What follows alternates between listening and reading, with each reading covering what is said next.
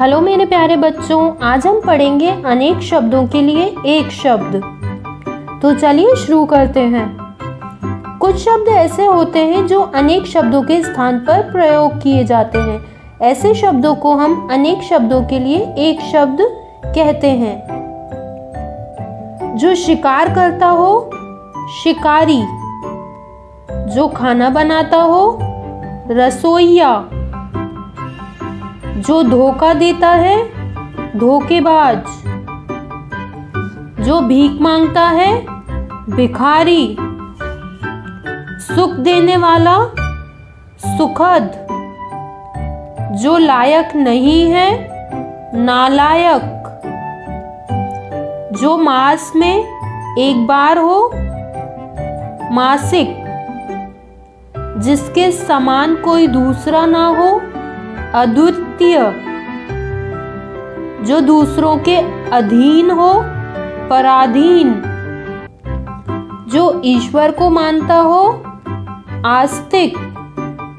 अपने देश में बनी वस्तु, स्वदेशी। जो परिश्रम करता है, परिश्रमी।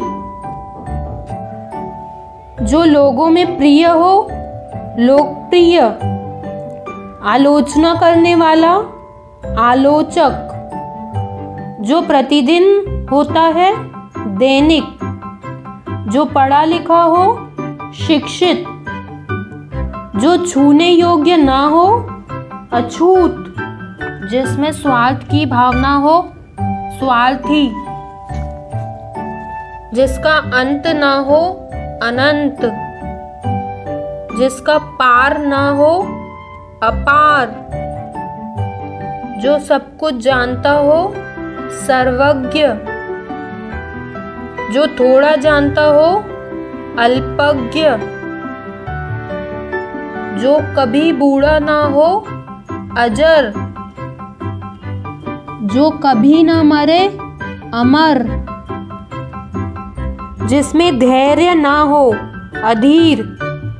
जिसमें रस ना हो निरस।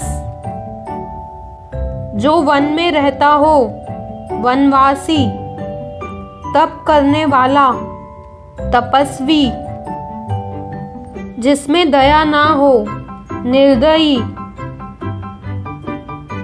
शक्ति का उपासक, शाक्त।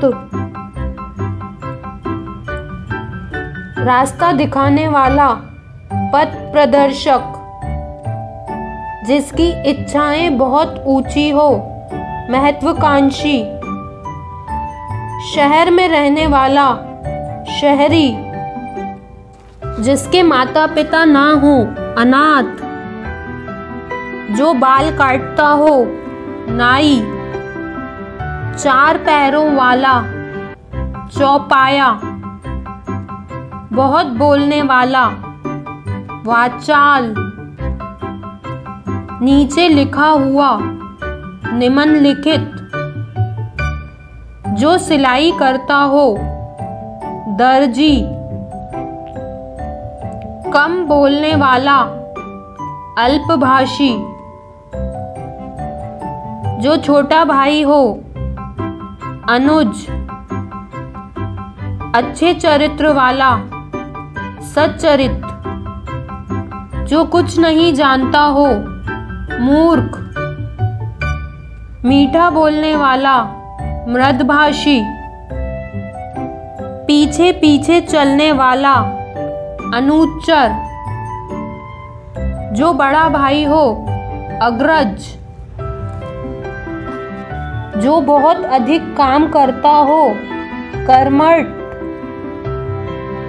मन को प्रसन्न करने वाला मनोरंजक। अपनी शक्ति के अनुसार यथाशक्ति